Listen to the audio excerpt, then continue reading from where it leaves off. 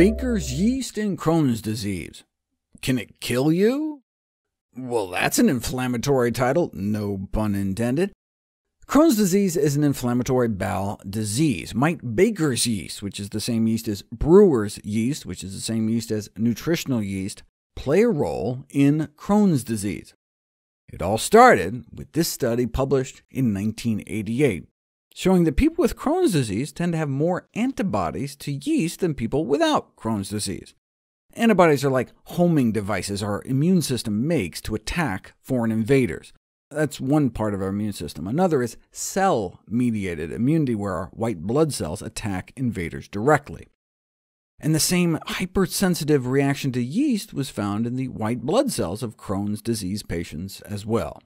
If you draw blood from healthy people, even bakers who are around yeast all the time, and you expose their peripheral blood leukocytes, their immune system white blood cells, to yeast, nothing happens. They just kind of ignore it because it's typically harmless.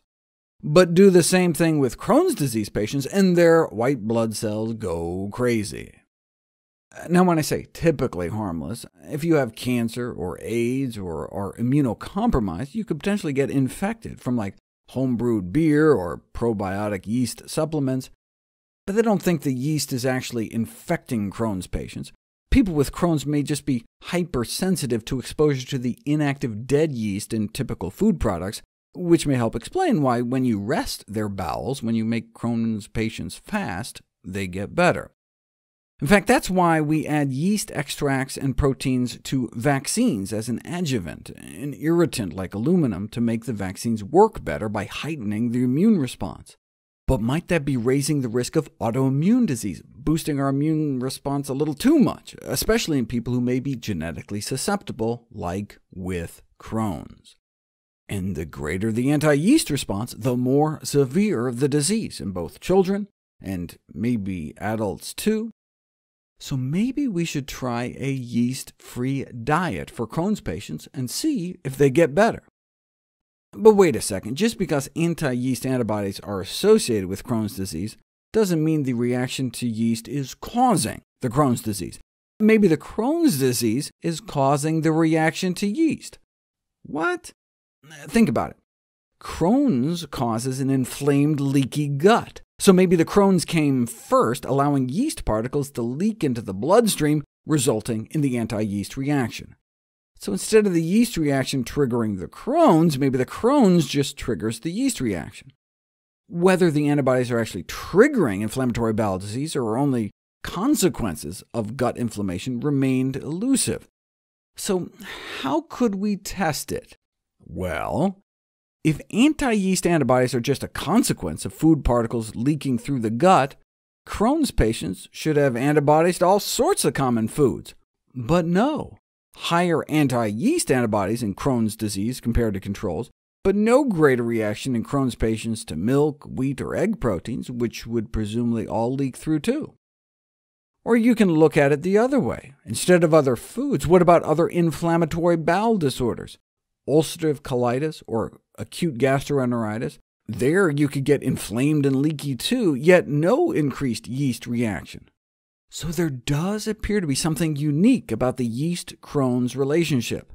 But maybe inflamed Crohn's intestine just uniquely and selectively allow yeast through? If you cut out the Crohn's, can you stop the yeast reaction? Uh, Crohn's gets so bad that most patients have to eventually go under the knife and get sections of their intestines removed. So when the inflamed segments are removed, does the yeast reaction go away? Uh, no. No change post-op. So a change in Crohn's activity does not lead to a change in the yeast reaction, but we still have to prove that the yeast reaction comes first. Thankfully, the Israeli military systematically draws blood from their recruits, follows their health for years, so you can go back and check the blood of newly diagnosed Crohn's victims. And indeed, those who went on to have Crohn's were years earlier disproportionately reacting to yeast. So it's not like yeast reactions were low until Crohn's hit and then they shot up. Yeast reactivity crept up year after year before the diagnosis. Now look, it's possible that there was some subclinical gut leakiness in the years preceding diagnosis that led to the yeast reaction, but there doesn't appear to be any association between yeast reactivity and gut leakiness. So do high blood levels of anti-yeast antibodies result from a leakiness of the gut barrier in Crohn's disease? No, that does not appear to be the case. So if Crohn's isn't leading to the yeast reaction, does that mean that the yeast reaction is leading to the Crohn's?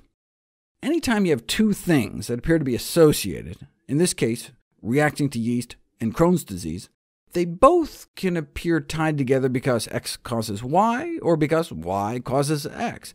Well, in this case, it appears that Y does not cause X, but does that mean that X causes Y? Well, there's another option. Maybe there's a third factor that causes both of them independently. Maybe the only reason yeast reactivity and Crohn's disease appear to go together is that there's a third factor causing them both, like, for instance, candida, which I'll cover next.